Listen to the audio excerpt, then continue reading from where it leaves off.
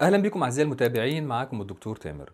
لو شخص اتعرض للكهرباء اتكهرب مسك سلك عريان مثلا واتكهرب هتتعامل معاه إزاي لو جالك المستشفى؟ وكمان إيه هي الإسعافات الأولية اللي ممكن تعملها مكان الحادث؟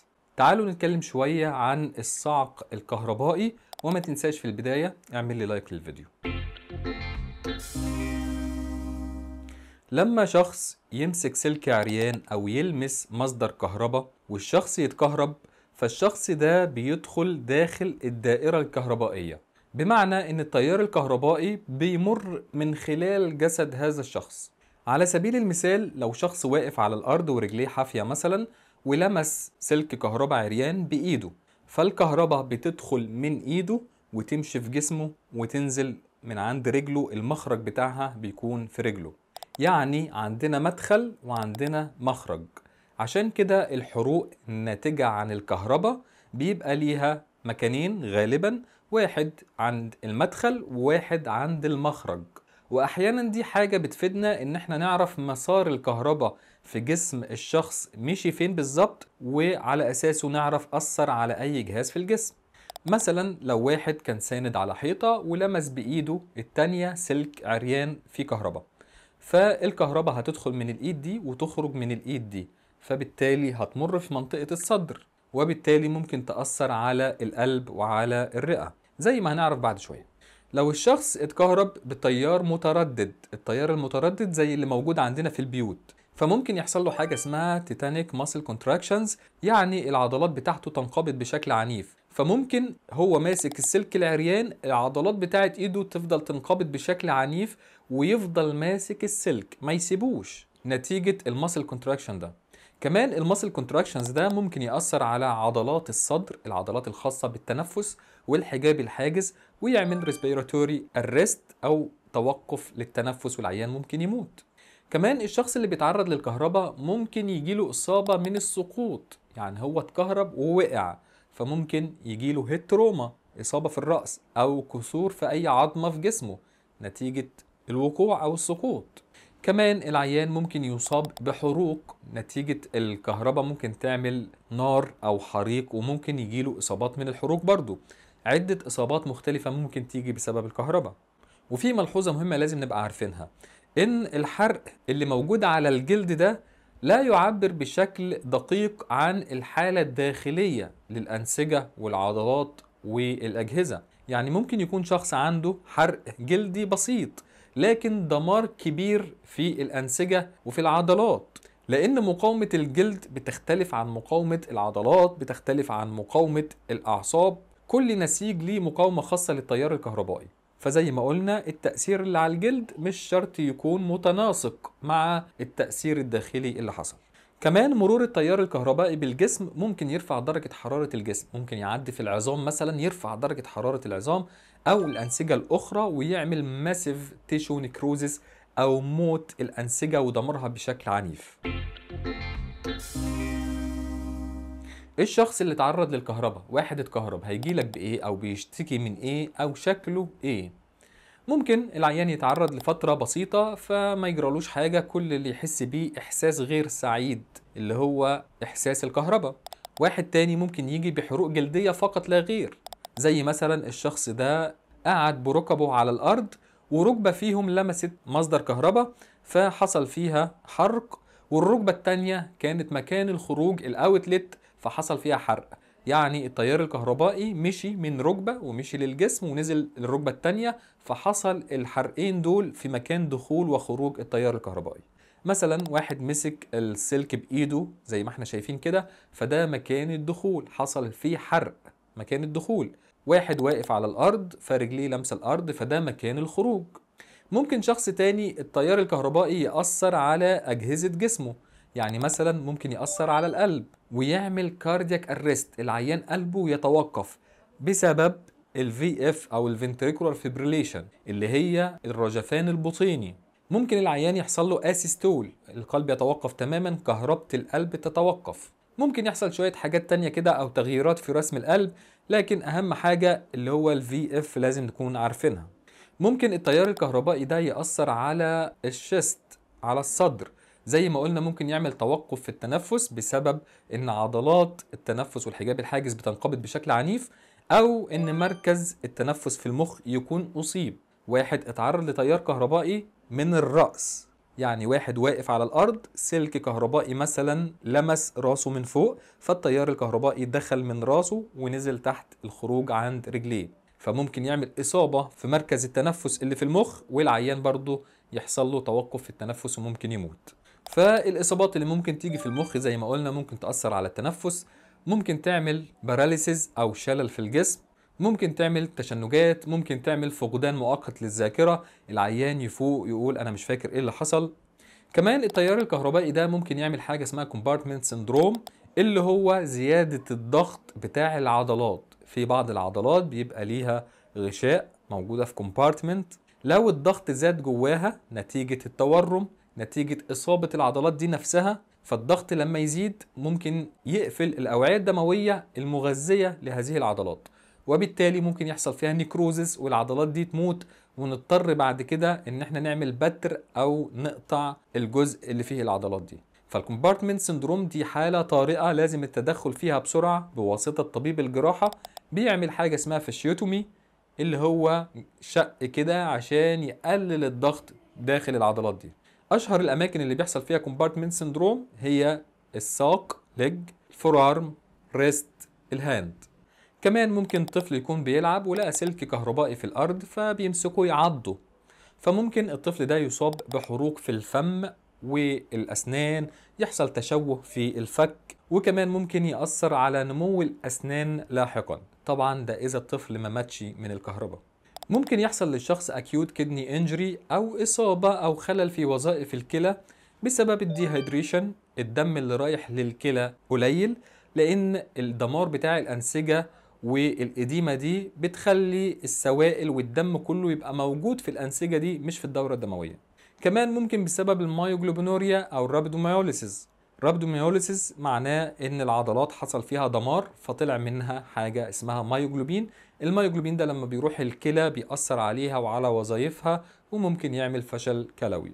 ممكن يحصل للعيان حاجة اسمها autonomic dysfunction ممكن تلاقي dilated fixed pupils بؤبؤ العين زي ما بيقولوا كده بيبقى متسع وثابت. ممكن يحصل في بعض الناس وعشان كده بنقول للناس اللي بتعمل CPR اللي هو انعاش قلبي رئوي ما تاخدش dilated fixed pupils دي إن دي علامة إنك توقف ال CPR لا ملناش دعوة بيها لأن ممكن العيان زي ما قلنا يكون أعمى مثلا أو يكون عنده autonomic dysfunction زي في الحالة دي.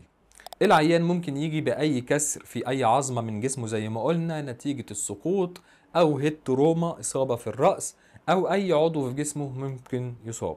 كمان العيان طبعا ممكن يجي ميت بسبب زي ما قلنا ال asystole أو ال VF إصابة القلب أو وقف التنفس. بالنسبة للفحوصات اللي العيان ده بيحتاجها في المستشفى فلازم طبعا صورة دم كاملة electrolyte صوديوم بوتاسيوم كلورايد آه serum creatinine ويوريا اللي هي وظائف كلى ALT و AST اللي هي إنزيمات كبد. لازم نقيس له الجلوكوز طبعا مستوى السكر في الدم وإذا كان في hypoglycemia ياخد جلوكوز. لازم PT و PTT لازم نعمل للعيان ده ABG أو غازات في الدم الشرياني.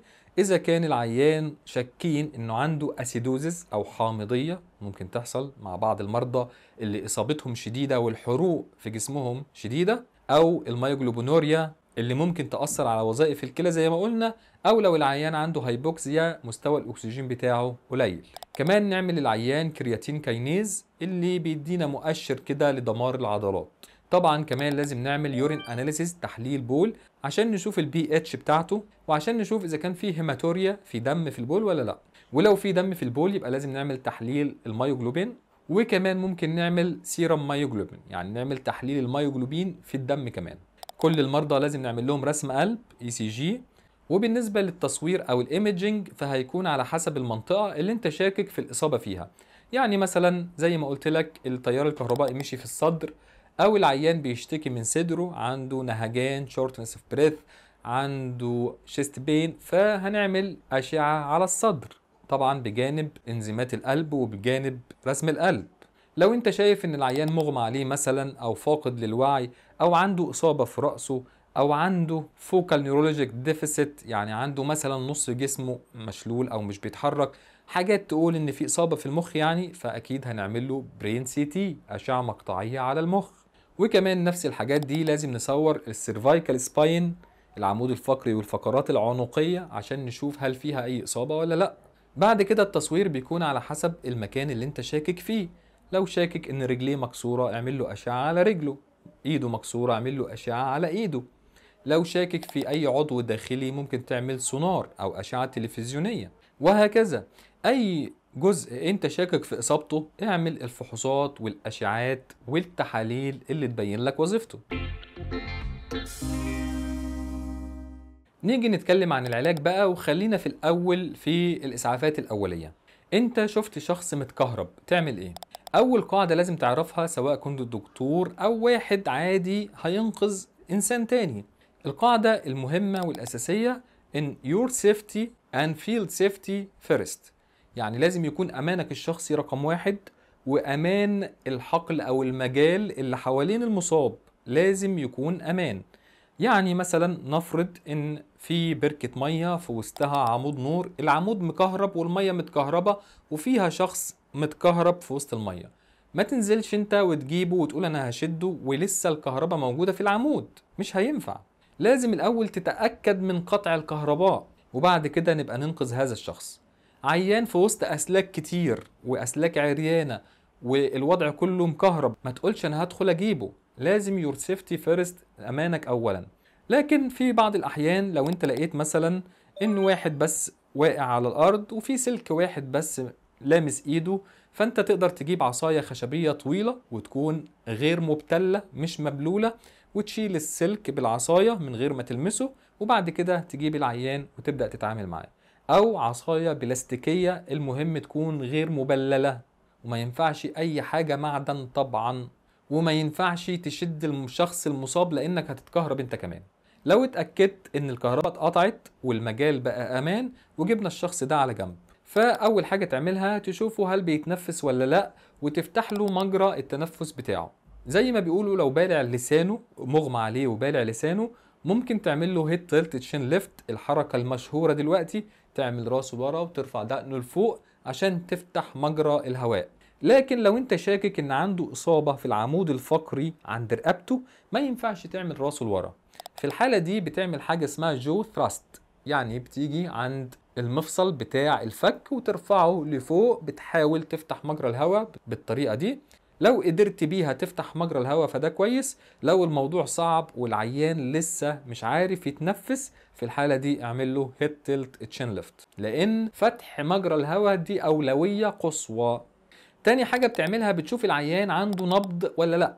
العيان لو مش بيتنفس ومفيش نبض فلازم تبدأ معاه انعاش قلبي رئوي فورا.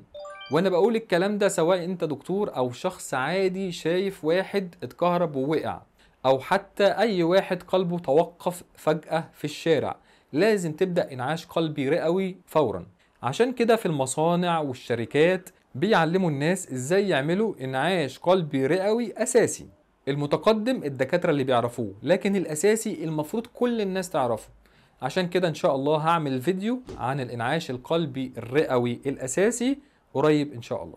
فالمهم لو أنت عندك فكرة هتبدأ إنعاش قلبي رئوي لحد ما الإسعاف يجي ويبدأ يتعامل معاه. لأن ببساطة الشخص لو مثلا لمس كهرباء فحصل له رفرفة أو رجفان بطيني في القلب والعيان وقع وحصل له arrest يعني القلب توقف مفيش نبض. لو إحنا استنينا الإسعاف لحد ما يجي ولو الإسعاف اتأخر بس عايز أقول لك خمس دقايق أو عشر دقايق بيكون الموضوع صعب جدا والشخص ده صعب يرجع مرة تانية. أما لو ابتدينا معاه CPR فورا وواحد طلب الإسعاف بيبقى ليه فرصة إن شاء الله في النجاة. فالعيان لو عنده توقف في القلب هتعمل له انعاش قلبي رئوي. لو العيان بيتنفس وفيه نبض فأنت هتنقله على المستشفى فورا. أما لو أنت دكتور قاعد في المستشفى بقى وجالك عيان يقول لك الحق العيان ده متكهرب. فزيه زي أي عيان طوارئ وأي عيان trauma تقريبا. أي حادثة بنعمل فيها إيه؟ أول حاجة A B C. airway برضه نفس الكلام. تشوف ال airway بتاعه مفتوح ولا لأ. محتاج تحمي ال airway بتاعه. تركب له airway مثلا أو تركب له endotracheal tube B breathing. تشوفه بيتنفس ولا لأ. C circulation. تشوف النبض الأول في نبض ولا لأ. العيان لو ما فيهوش نبض هتبدأ برضه CPR فورا. تبدأ انعاش قلبي رئوي متقدم لأن أنت دكتور بتبقى عارف المفروض ال ACLS أو الإنعاش القلبي الرئوي المتقدم. وفي حلقة أنا عاملها عن الإنعاش القلبي الرئوي المتقدم حلقة قديمة شوية لكن تفيدك إن شاء الله. شوفها في الرابط تحت. طيب العيان مش arrest العيان بيتنفس وفيه نبض. يبقى شوف ال vital signs بتاعته ال blood pressure وال temperature وال respiratory rate معدل التنفس وتركب له ال IV line طبعا. الكانيولا دي حاجة مهمة جدا في أي عيان طوارئ تقريبا. عايز أقول لك أي عيان طوارئ دخل عليك الاستقبال ركبوا له كانيولا واحيانا نحتاج إلى CV line central venous line يعني كانيولا مركزية أو قسطره مركزية في الحالات الشديدة لو العيان جاي بحروق شديدة. العيان تقيس له الأكسجين ولو كان الأكسجين قليل تحطه على أكسجين. العيان تعمل له ECG رسم قلب وده إجباري لكل المرضى. كمان العيان ممكن يحتاج نحطه على cardiac monitoring يعني نحطه على ال monitor ونراقب ضربات قلبه ممكن لحد 48 ساعة في بعض الحالات. بعض الحالات دي اللي هي إيه؟ لو عيان كان arrest ورجع كان قلبه وقف ورجع لو عيان عنده chest pain الم في الصدر عنده shortness of breath يعني التنفس بتاعه فيه مشكلة مش عارف يتنفس كويس عنده hypoxia الأكسجين بتاعه قليل. كمان ضروري إنك ما تحركش العمود الفقري بتاع العيان لحين التأكد إنه سليم ما فيهوش إصابة. كمان العيان ده بيحتاج محاليل طبعا لازم نديله fluids بنديله isotonic solutions زي مثلا أشهرهم ال Ringer lactate وممكن ندي محلول ملح 9 من 10% والهدف بتاعنا من المحاليل يعني هنديله محاليل قد إيه أو بمعدل قد إيه الهدف بتاعنا إن العيان يخرج بول كمية بول حوالي من نص لواحد ملي لتر سنتي يعني لكل كيلو في الساعة. يعني لو عيان وزنه 100 كيلو إحنا عايزينه يخرج 100 سنتي بول في الساعة. وفي بعض المعادلات بتساعدك كده عشان تعرف الكمية تقريبا يعني اللي هنحتاجها حاجة اسمها Parkland formula اللي هي أربعة في ال body weight وزن العيان كام؟ في body surface area affected يعني نسبة الحروق في الجلد عنده قد إيه؟ يعني مثلا عيان هنقول 50 كيلو يبقى هنضرب 4 في 50 ب 200 في نسبة الحروق في جسمه نسبة الحروق مثلا 10% يبقى في 10 يبقى 200 في 10 ب 2000 العيان ده هيحتاج تقريبا 2000 سنتي محاليل. بندي نصهم في أول 8 ساعات والنص التاني على مدار 16 ساعة. وخلي بالك إن في الحروق الكهربية بيكون في دمار داخلي ممكن يكون أكتر بكتير مما يبدو عليه ظاهريا. عشان كده الناتج اللي بيطلع ده أحيانا نضربه في اتنين وأحيانا نضربه في تلاتة مع الحروق الكهربائية بالذات. يعني العيان اللي قلناه ده بدل ما نديله 2000 لا إحنا نديله 4000 نديله 6000 سنتي. والمقياس الأول والأخير ليك هو إخراج البول المعدل اللي قلنا عليه. وبالتالي أنت هتحتاج تركب للعيان بتاعك قسطره بولية. القسطره هتفيدك عشان تعرف كمية البول اللي خارجة وبالتالي هتحكم على ال tissue perfusion أعضاء الجسم بيوصل لها دم كويس ولا لأ؟ وكمان هتشوف لون البول وتشوف هل في مايوجلوبينوريا ولا لأ. العيان لو لون البول بتاعه غامق أو دم تشك فورا في المايوجلوبينوريا وتبدأ تعالج بإنك تزود كمية المحاليل ويبقى الهدف بتاعك في الوقت ده إن العيان يخرج بول بكمية من 2 ل 3 ملي لكل كيلو في الساعة. يعني العيان اللي وزنه 100 بدل ما يخرج 100 ملي في الساعة لا يخرج 200 ل 300 ملي لتر في الساعة. بالإضافة إن أنت ممكن تدي للعيان ده صوديوم bicarb وتديله مانيتول كل الحاجات دي عشان بنحاول نمنع إن ال myoglobin يأثر على الكلى سلبا ويعمل فشل كلوي. لأن لو الشخص عنده إصابة كبيرة وعنده حروق كتيرة فاحنا بنشك في ال acidosis اللي هي حامضية الدم وفي ال myoglobinuria وطبعا العيان هتعمل له ABG اللي هي غازات في الدم الشرياني اللي هيبين لك مدى الحامضية. لكن عموما أنت بتبدأ تدي للعيان بتاعك في الوقت ده صوديوم bicarb بجرعة من 1 ل 2 milliequivalent لكل كيلو كجرعة بدائية كده وبعد كده بتقيم وتعيد تاني على حسب ال ABG وعلى حسب العيان بتاعك. وكمان ممكن تديله مانيتول بجرعة 1 جرام لكل كيلو. ال bicarb بيعالج ال acidosis الحامضية اللي موجودة وكمان بيعمل alkalinization أو قلوية للبول وده بيخلي ال myoglobin حاجة تقدر تدوب يدوب ال myoglobin وبالتالي لا يؤثر على الكلى وتقدر الكلى تتخلص منه. وطبعا العيان أصلا لو كان عنده acidosis ال pH بتاعته أقل من 7.2 من عشرة فده غالبا هيتحجز في عناية مركزة ودكتور العناية المركزة هو اللي هيتابع الحاجات دي بعد كده. العيان بتاعك ممكن يحتاج tetanus لقاح tetanus على حسب حالته حالة الجرح وحالته هو التطعيمية واخد لقاح tetanus ولا لأ؟ في حلقة عن ال tetanus برضو تقدر تشوفها. كمان ممكن تبدأ معاه مضادات حيوية لو الجروح حالتها مش كويسة عشان العدوى البكتيرية الثانوية. وما تنساش طبعا لو أنت شاكك في compartment syndrome يعني لقيت مثلا رجليه بتوجعه الساق أو فيها بدأ تورم أو بتوجعه مع الحركة السلبية passive movement يعني أنت بس بتعمل له رجله كده وكده بتوجعه أو بادئ النبض يضعف. أي مشكلة تستشير دكتور الجراحة فورا عشان ليه طرق معينة بيقيس بيها ال compartment pressure الضغط ده ويشوف هل محتاج يعمل fasciotomy حالا ولا لأ. طبعا كل اللي أنا قلته ده يخصك أنت كطبيب طوارئ يعني زيه تقريبا زي عيانين الطوارئ كلهم ABC والأكسجين والجلوكوز ورسم القلب وال IV line وإن إحنا نبدأ fluids وإن إحنا نبدأ نعالج ال acidosis وال myoglobinuria ان وجدت فالحاجات دي شغل الطوارئ بتاعك لكن العيان بتاعك المفروض إنه يتحول أو يروح وحدة الحروق. اللي فيها دكاترة متخصصين في الحروق يبدأوا يقيموا الوضع الفعلي للحروق والدمار الداخلي للعضلات والأنسجة ويتعاملوا معاها ويشوف بقى هل محتاجين بلازما هل محتاجين دم الغيار وطريقة التعامل مع الجروح. كمان أطباء الجراحة لو في أي مشكلة جراحية بيتدخلوا. دكاترة العظام لو في أي كسر أو حاجة برضو بيتدخلوا وهكذا. لكن أنا اتكلمت على دورك أنت في الطوارئ تعمل إيه. وفي النهاية أحب أشكركم. ما تنساش بقى اشترك في القناة واعمل like و share. شكرا لحضراتكم.